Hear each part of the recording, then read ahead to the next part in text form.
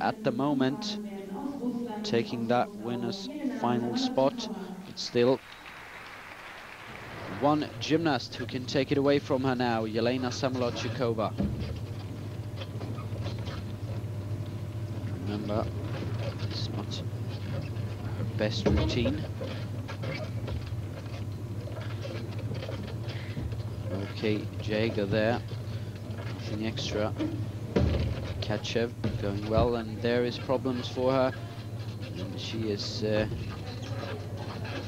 her feet hitting the ground there, and uh, there will be large deductions, and uh, therefore Elizabeth Tweddle in the winners final, Yelena Zamolodchikova, unfortunately